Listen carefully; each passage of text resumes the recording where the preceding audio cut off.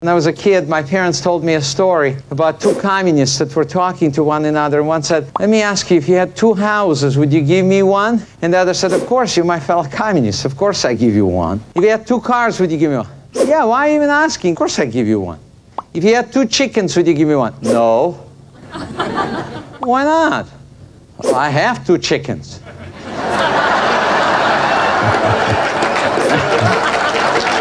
Yep, it turns out that um, communism stops where your wallet starts.